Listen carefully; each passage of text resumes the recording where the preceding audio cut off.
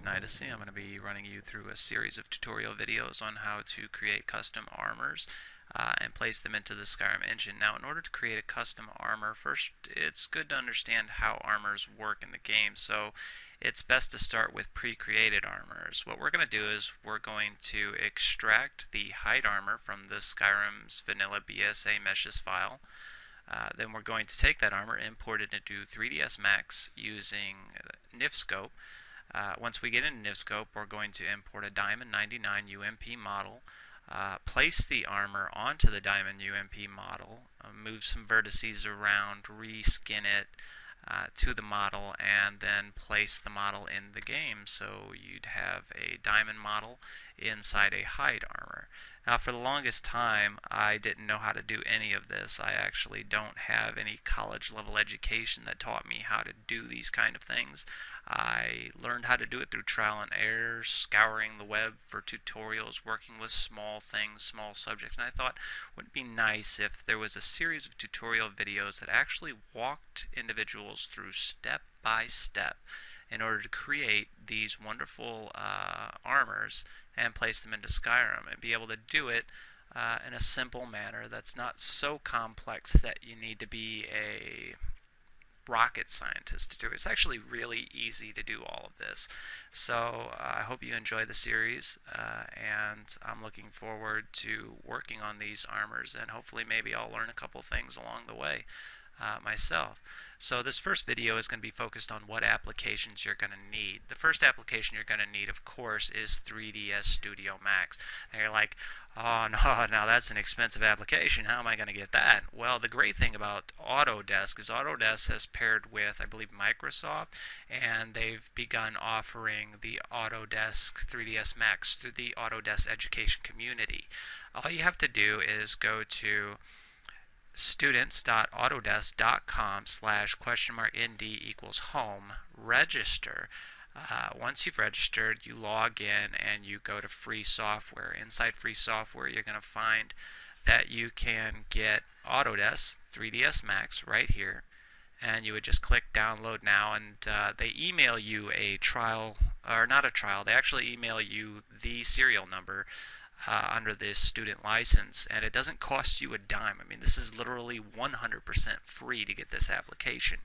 Uh, I use Autodesk 3ds Max because I prefer it a lot more than Blender. It has a lot more versatility than Blender does. They both have about the same versatility, but I find personally that working with Autodesk is a lot easier, just to me.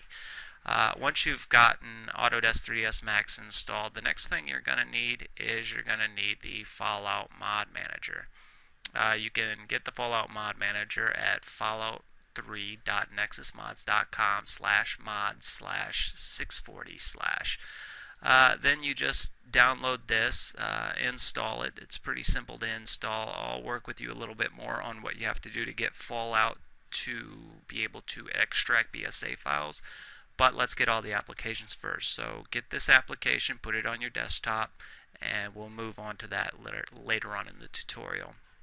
Uh, the next thing we're going to have to get is the NifSkope plugin. NifSkope allows uh, users to use 3ds Max to play around with the NIF file. Now a NIF file is basically uh, it's the armor. It's the armor and the body and everything you see when you equip something in a game. It's also when you drop something on the ground. Any object that's in the game is actually a NIF file. It's like an OBJ file, like an object, uh, with with a lot of perimeters installed with it. You know, like textures, um, skeleton uh, nodes, uh, how the item reacts. It's even animations uh, are sometimes in NIF files.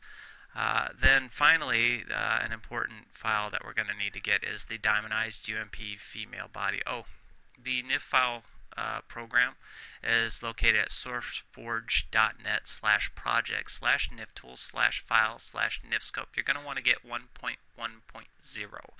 Uh, you just download this, put it on your desktop. I'll show you how to install it a little bit later in the tutorial. Uh, now back to the diamondized UNP model. This is the model that we're going to be placing our uh, hide armor on.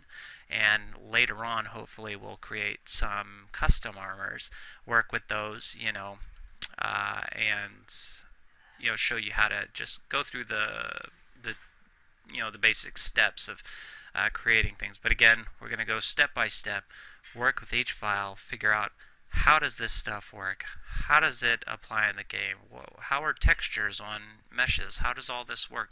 Well, that's what we're going to do.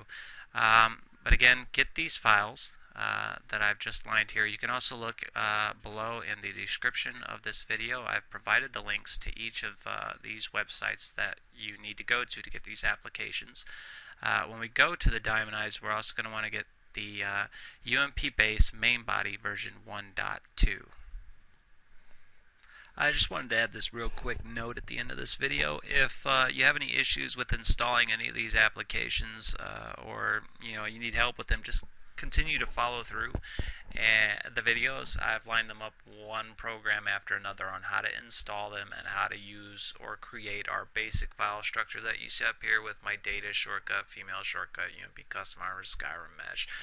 Uh, all these uh, videos uh, coming up after this one, just follow them in the order listed at the first two numbers of the video. Uh, will tell you just follow the order, and uh, that way you don't miss any impertinent information on installing these programs or where to go to get them and how to install them. So just continue watching the videos, uh, and they'll get you all set up with the file structure so we can begin to create these custom armors. All right, cool.